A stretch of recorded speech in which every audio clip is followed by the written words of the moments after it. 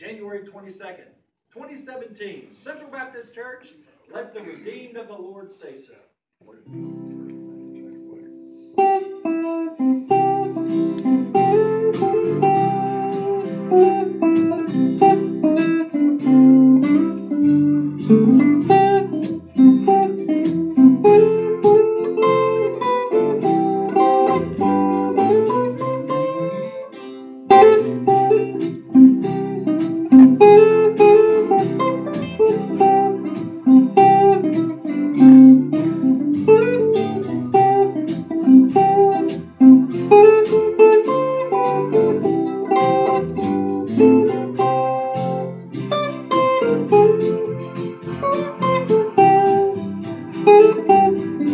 Thank